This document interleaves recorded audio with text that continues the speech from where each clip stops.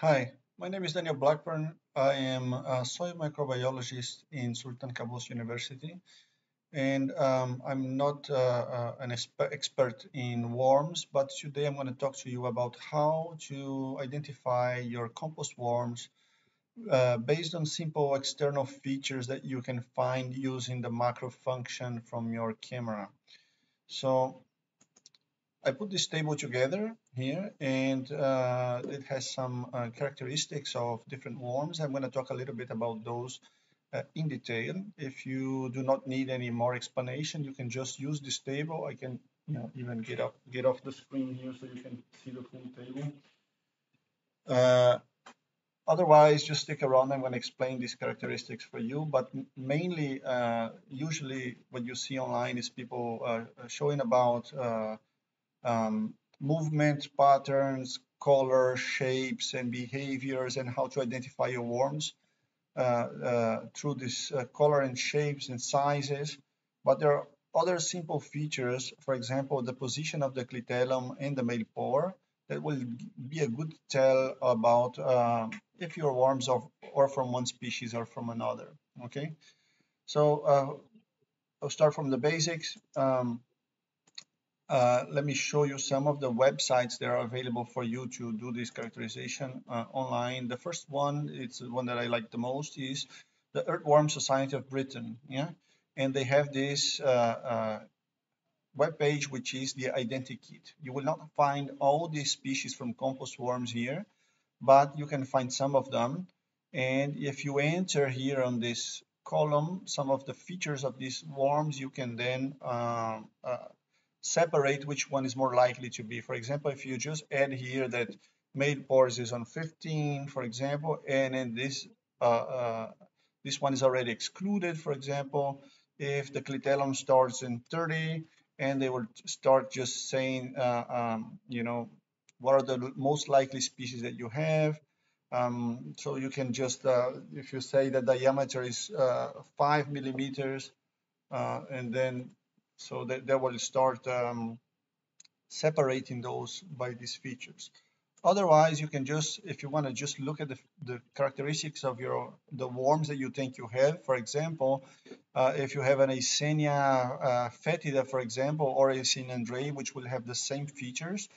Um, let me find here the Eisenia fetida. You can just click on the Eisenia fetida, and you will see here all the features from this worm. And this is too close. I will look i will show this in a bit. Yeah but you, otherwise you can just see the the, the, the morphological features of your uh, of your worms and then you can um, check if uh, your worm is really what it is you know the let me show you another web page. This is another web page here that is the the open access biodiversity data. It will give you about the, the uh, world distribution of these uh, worms and where you're likely to find these worms on the environment. So if you find, if you are in a region where it's reported here, maybe the, the worms that you are isolating from the, the, the wild, they are um, uh, the, the, the ones that you think they are. For example, let's say uh, Eisenia uh, Andrei, for example, then you can just by Googling them, yeah, and then you will click here, and this will be the synonyms that you have here from the other names that you can be uh, given for this worm, and then you have here also the world distribution of this worm. So these web pages, they are uh, very useful for, for you. There are others. Um, if the, the, your worms are not present here uh, and you cannot find this characteristic, then you have to go looking for other uh, uh, web pages that have these uh, features of these worms or um, the key of the taxonomic key for identifying these worms. So there are several taxonomic keys. Most of the keys are they, they lead you to up to family, but some of them uh, will have um, uh, this description of the, the, the, worms by themselves. And you have, of course, uh, uh, um, scientific papers that will describe these worms uh, in more detail. And then from these papers, you can grab those characteristics. I put up this table for you, uh, which summarizes the, the, the, species that you have from compost worms. There are eight species that are currently being used for composting as uh, as far as I could gather online, and I will uh, give you some description about the features that you have to look after if you want to identify those worms based on on, these. Yeah, some of some of the worms are very easy to uh, identify. Some are a little bit harder. Starting from the basics, uh, you have the clitellum. This uh, normally this band that has different colors, sometimes swollen. Uh, uh, jumping out uh, from the body of the worm. the shorter part of the worm after the clitellum is what you call the, the head of the, the, the worm and this head could have uh, uh, different features I'm going to talk a little bit, and the rest is the tail. Yeah. So uh, this scheme show you the head, and the head will have the, the point of the head is the prostomium. The male pore usually is in between the, the clitellum and the prostomium, but for some worms, they will be after. It will be in this position here, and then uh, this will be a telltale that you, you have one type of worm and the other one. So you can have a dorsal view of the worm and a ventral view of the worm. The male pore will usually be on the ventral view also the tubercula pubertatis will be on the ventral uh, view of this worm and will be also an important uh, characteristic feature. So the, the um, uh, prostomium uh, can be in four types, but actually you need to uh, just uh, know two of them, the epibolic and the tanibolic prostomium, the epibolic and tanibolic head and this is what they look like if you look really close to them the epibolic and the tanibolic um, the male pore is just like a, a, a sometimes it's not very visible uh, for for the Eisenia for example it's not really easy to see the, the male pore on the, on the segment 15 but uh, for some worms they're very clear. For example for the Indian blue um, uh, and Eudrilus eugeniae will be very clear. Um, uh, the clitellum uh, is what I spoke before. This is the band that you have, and they, they have a thickness of number of segments that uh, they, they occupy is very important. The, the segment of the worm in which it starts is very important. And the, the, the, the tubercula pubertatis, which is present on the, on the ventral view of this uh, clitellum, you will it could it could be like two points it could be a, a band it could be a swollen band in different uh, uh, situations. So if you if you are able to identify these tubercular pubertatis then you can also it's help in your identification of the worms.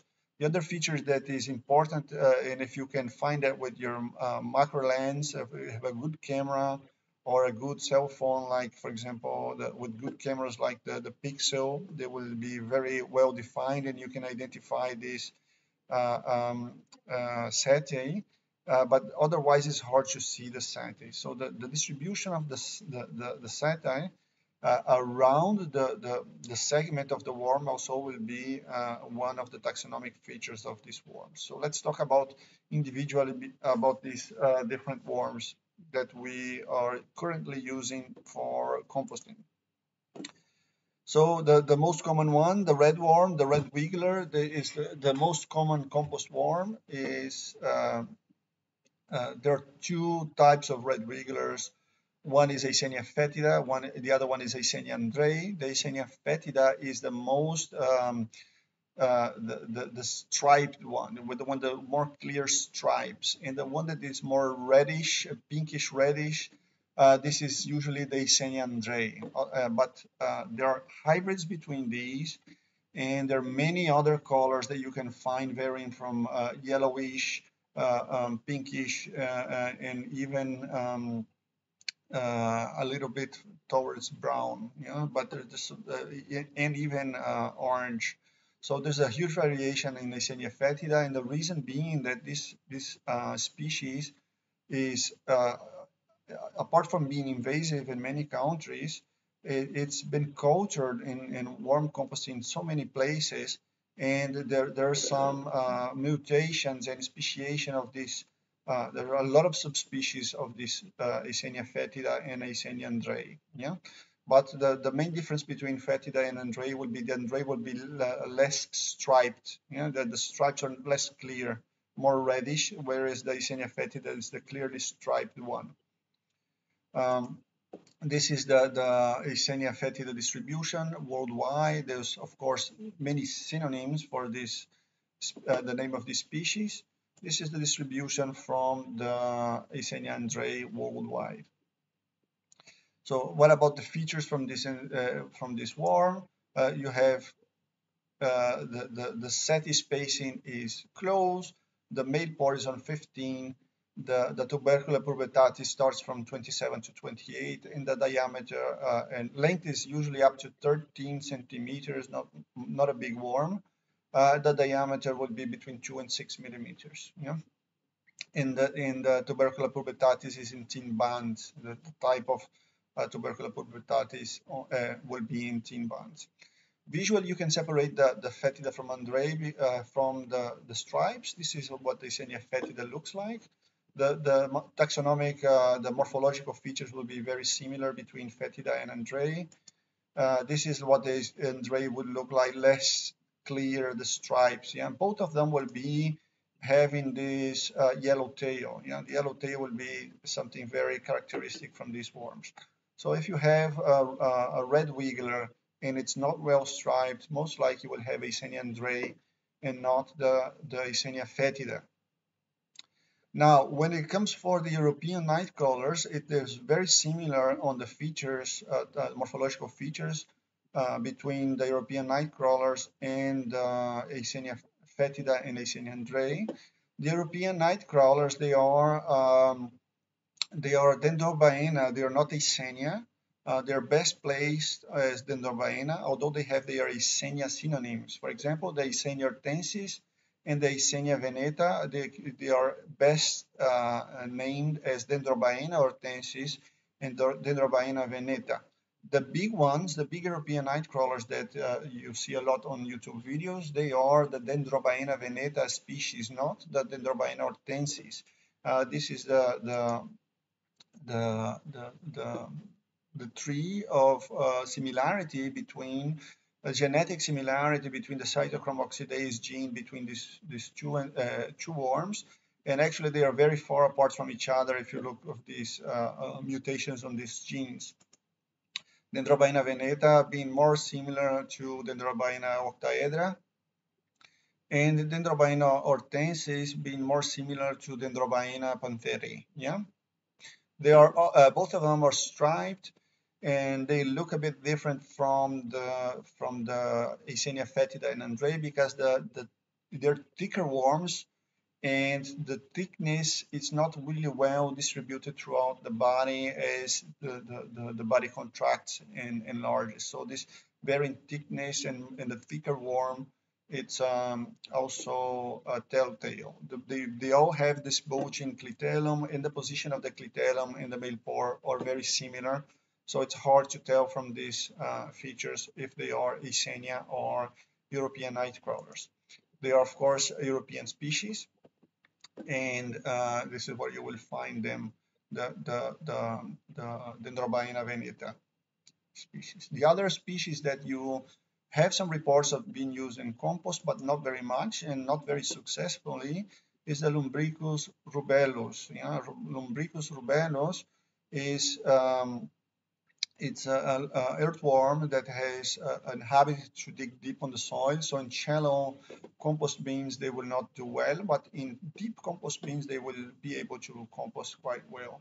The main telltale from the Lumbricus rubellus will be that the, the tail will be a little bit flattish. You know, the flat tail will be one of the one of the features that is, uh, if you have some worms and they have this flattish tail, this is, of course, Lumbricus species.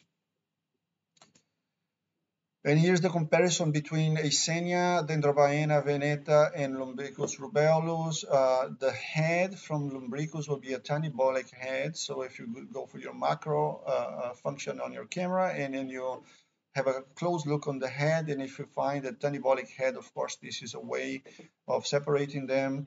The Eisenia foetida has uh, a close set spacing where uh, Dendrobaena veneta will be wide and Lumbricus rubellus will be close.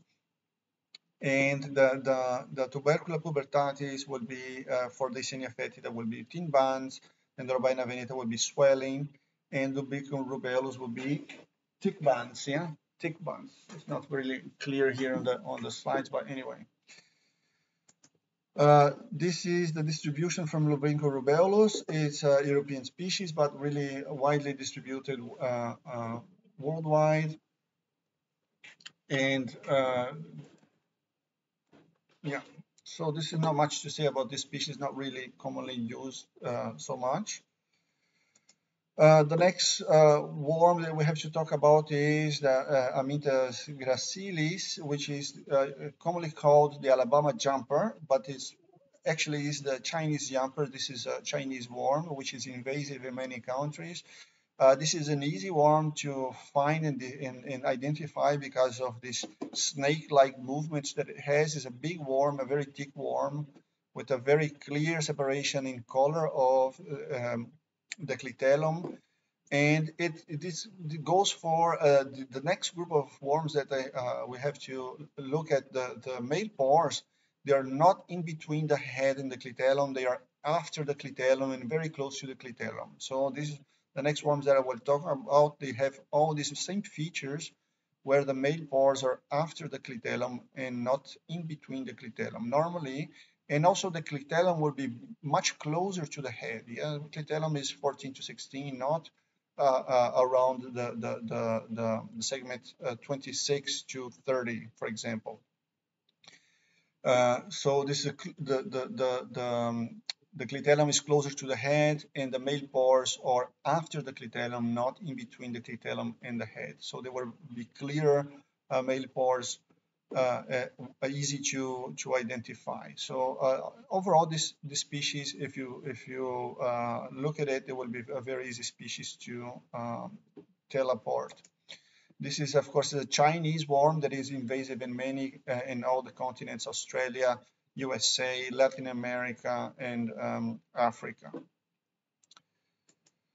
Uh, the next compass worm is Eudrilus eugeniae, or uh, African night crawlers, commonly known. These worms also have the, the clitellum very close to the head, and uh, the prostomium is epibolous. Uh, the, the, the, the, clitellum is cell-shaped, so it means that if you look in the, in, the, in the ventral side of the worm, you will see that the clitellum is less evident. So the clitellum is like it goes around the worm, but not completely uh, and the, the, the, the, ventral part will be very clear that the clitellum does not go completely all around.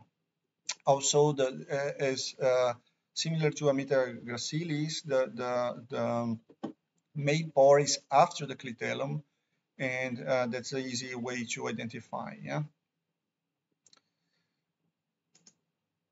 Yeah, so so the Eudrilus eugeniae is an African worm, and it's also invasive in Asia and also in North America.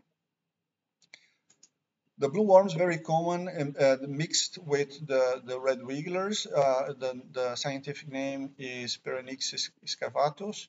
Um, this also belongs to this group of worms where where the male pores are after the clitellum, not in between the clitellum and the head and the male parts have this characteristic look where they have this uh, like uh, brackets, brackets shape. They're not paired in the in the, the longitudinal sense, but they are uh, uh um, paired like this, like brackets.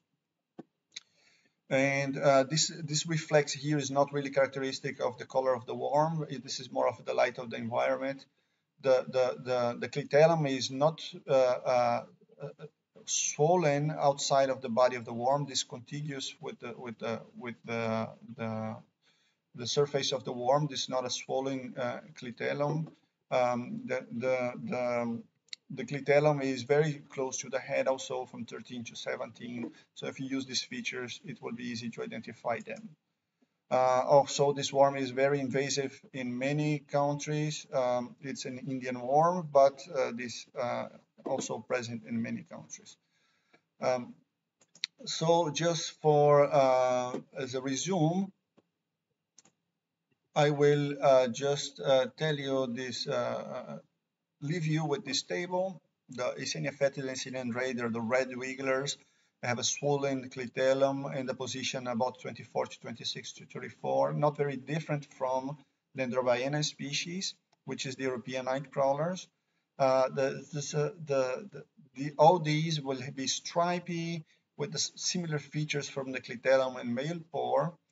Uh, the main difference from the Dendrobaena species will be that it will be more uneven on the on the distribution of the thickness. There are thicker worms, and, and, and the Dendrobaena veneta will be also a much uh, a longer worm, a very uh, a large worm. If the, the adults can uh, reach uh, uh, very big sizes. Yeah. Oh, this is this is wrong here on this table. I need to fix this. If you look back on the on the on the other slides, it will be more clear there will be the the the, the size will be uh, uh, up to 155 okay but they can go even more than 20 centi centimeters Amynthas gracilis this group of worms here will be the worms that you uh, should think about that the, the, the male pore, the presence of the male pore is after the clitellum, and the clitellum is usually very close to the head, so this would be feature separating those and you can know, uh, use other uh, uh other uh, taxonomic features um, um, uh, about the color, size, and, and if the clitellum is bulging, if the clitellum is saddle shaped. so you can use these other features for separating these worms from each other. So this is something that I wanted to bring for you guys uh, now because uh, uh, usually uh, the, the, the, information online from YouTube is not uh, uh, not very remarkable in making the difference between different species, just making the difference between the common name like red wiggler, European night crawlers, and blue worms and African night crawlers, for example. Um, but there are some things that you can look in your worms, uh, uh, the position of the clitellum, which is just looking into uh, uh, your worm and counting the number of segments that you have before your clitellum starts. Uh, if you can find the the the the, the, the male pore will be very nice. Then you have to turn this worm around and photograph it play a little bit with the contrast and see if you can find the, the, the tubercular pubertatis and the, the male pore and then you count the segments and if you identify this male pore and the tubercular pubertatis that will give a good tail. So about my worms, I've already figured that they are not in this table. So the next step for me will be to uh, uh, do the uh, sequencing of the cytochrome oxidase gene and I already ordered the primers for doing that and I will keep you posted for uh, these um, in the future. All right. So thanks, thank you very much and I hope you enjoyed the video.